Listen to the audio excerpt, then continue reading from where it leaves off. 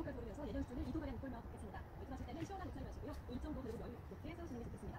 지금 레이더를 보면 남부 쪽에서 강...